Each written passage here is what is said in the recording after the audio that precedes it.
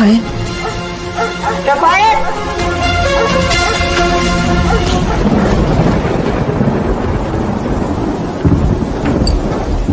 ¿Qué tal estuvo la boda? Muy emotiva y mi hijo estaba feliz. Y no fue muy buena idea que Isabela fuera. Se puso a beber. Pedí que la sacaran discretamente antes de que hiciera algo vergonzoso. ¿Y se vino contigo? No. Rigo la fue a dejar. Mira tú que ha comedido el peón. No te refieras a Rigoberto así. Y tranquila que ya a esta hora deben estar con ella Ángela y Germán. Lo dudo. Seguramente están celebrando que él ya me firmó el divorcio.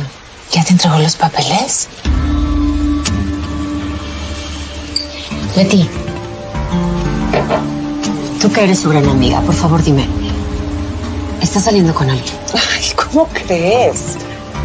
La última vez que hablamos me dijo que te sigue adorando y que está dispuesto a luchar por ti. Pues parece que se dio por vencido muy pronto.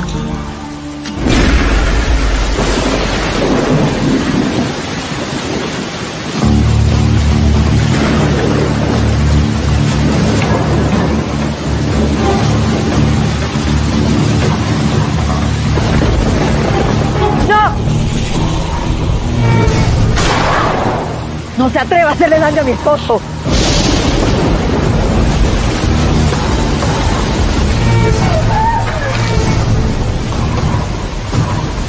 Oye, estuvo rete bonita la boda del señorito Rafael. Ya me imagino cuando yo me casé con mi Piero. Ningún me caso. Ni menos para emparentar con esa familia tan inmoral. ¿Por qué dices eso? Bien que sabes. Se te hace muy bonito que ese Luis tenga a la esposa, al amante y a la novia viviendo en la misma casa. Pero es que ya no tiene nada que ver con él. Son la ex esposa, la ex amante y la ex novia. ¿Y tú, la exnuera? No lo voy a permitir.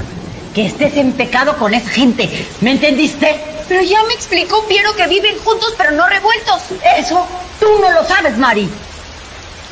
Te casas con tu Piero y quién sabe cuántas miles de mujeres más va a tener ese chamaco. ¡Ay, abuela! No voy a dejar que seas la primera. ¿eh?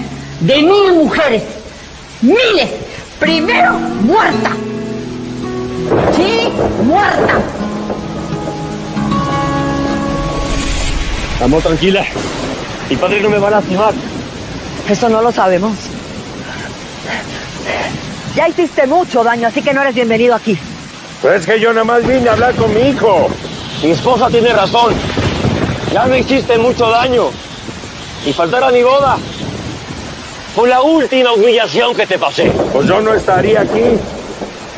Si no fuera importante, mijo.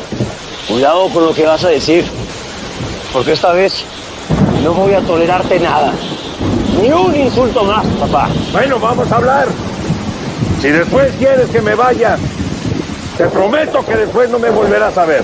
Vámonos. No, no, no, no, no, espera, espera. ¿Qué es lo que me tienes que decir? Que esta mujer ya fue mía y lo volverá a ser. Mi amor, mi amor, le estoy hablando, ¿me escucha? Sí. Ve a la casa, allá está el ganso, ¿sí? Y que mi padre fuera el mismo diablo. Te amo. te veo, Te amo. allá te veo.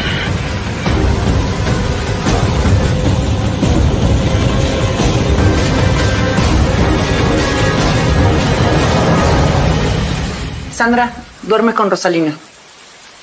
Para allá. Gabriel, con Piero. Y sin hacer ruido, ¿eh? Juana, Sáquese que...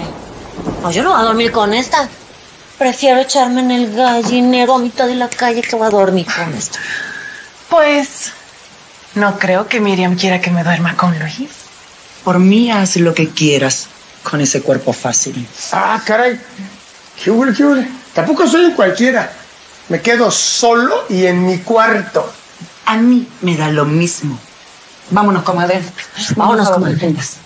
Vámonos. Vámonos de aquí. ¿Seguro que quieres pasar la noche solo? En mi cama hay mucho espacio. Voy a dejar la puerta abierta y la luz apagada. Por si cambias de opinión. Patrón, Feo. terminamos de separar la basura. ¿Me puedo quedar a dormir? Es medianoche y estoy muy cansado. Bueno, es que llegaste tarde a la repartición de cuartos y te toca compartir con. con Candela. ¿Con candela? Patrón, ¿está usted seguro? Eh, Es que yo ronco mucho, me muevo mucho. y- No te preocupes. Candela lo sabe y tiene mucho espacio en su recámara para ti. Pero, pero, patrón, es Exactamente, esa es la palabra patrón. Yo mando, tú haces caso. Sí, patrón, pero... Sí, sí, sí. ¿Está usted seguro? Dame la cara totalmente. Que descanse. Órale.